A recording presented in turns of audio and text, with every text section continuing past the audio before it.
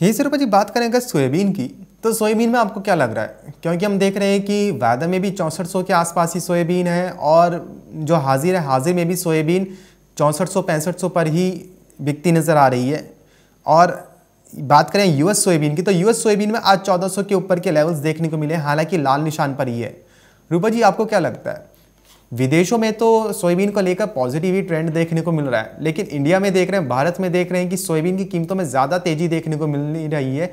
बावजूद इसके कि जो भारत है, खाद्य तेलों की आपूर्ति के लिए विदेशों पर निर्भर है। हम पहले देखते थे कि जब भी विदेशों में खाद्य तेलों में गड़बड़ होती थी, तब तब भारत में भी मंदी तेज़ी बनती नज़र आती थी। ऐसे में आपको क्या लग रहा है? क्या ये चुनाव की वजह से हो रहा है या फिर फंडामेंटल्स में कुछ चेंजेस आए हैं?